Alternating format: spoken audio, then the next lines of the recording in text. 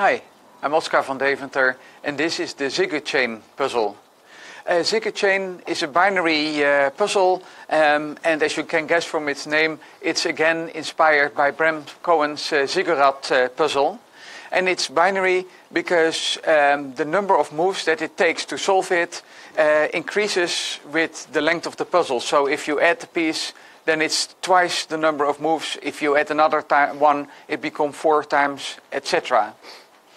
So the way the, uh, my design challenge to make this was what is the most simplistic uh, Ziggo puzzle that I could design? Well, this is it. Uh, it is a whole bunch of uh, identical uh, rings, and the rings go through each other. And the way that it uh, moves, well, let's first see. We are now in the solved state, where all the notches are pointing at the side. And the way you move it is you move one ring in, then you move the other ring in, then this one out, in, in, in, then the yellow one turns a bit, then the orange goes a li little bit back, um, and uh, in, in, and then uh, the red one, uh, the yellow one goes in one more, now the blue one, no. Anyway, um, it's, uh, it's a lot of moves, and uh, I have uh, printed another version uh, that is uh, already uh, close to the solution. So hopefully I can show you how it's solved. Here I'm going to move the orange in, then red, and then in, and then yellow, one move, orange back, and you see uh, orange even further back, then orange in again, and you see every time I move things, but now everything is in and uh, we were already close to the solution so I'm uh, have now uh, them almost there.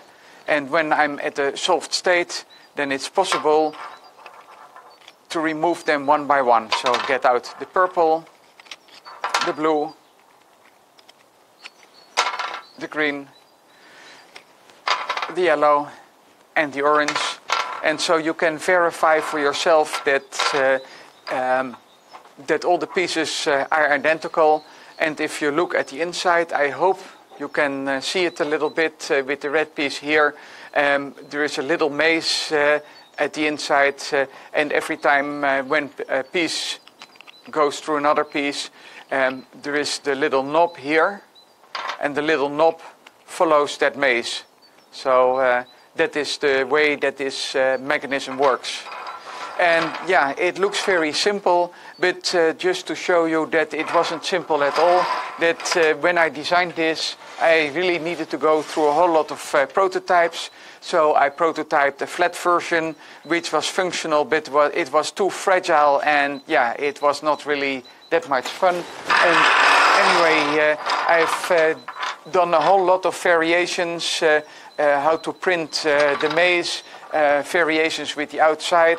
Also, uh, whether maybe the pieces should be composite uh, from multiple uh, parts uh, to make the whole thing a bit uh, more rugged.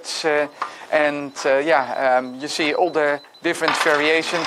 But the good news is that the prototyping was successful. And yeah, here we have the puzzle. So, um, the reason I take uh, make a ring of six pieces is this is about the amount of patience that I have. Uh, team pieces takes about uh, well five to ten minutes uh, um, to solve, but every additional ring uh, doubles the number of moves. So my challenge to you is: what is the long, longest Zigguchain that you can put together and uh, get into a solved state? Thank you for watching.